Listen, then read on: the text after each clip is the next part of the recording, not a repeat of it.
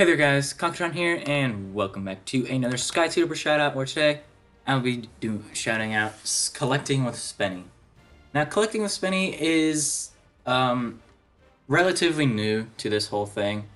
I think he's been doing pretty well. Uh, yeah, that's actually mm, one, two, three months ago ish, and he's already doing really well.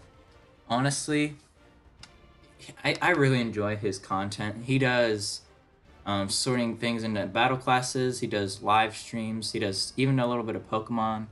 What's this? MIB. I don't. Oh, that's Men in Black. um, he does a whole bunch of different stuff, like video game unboxings, a lot of unboxings, a lot of top tens and ranking videos. He does a little bit of everything, but the bulk of it is definitely Skylanders. Is that his first video? I think that is his first video.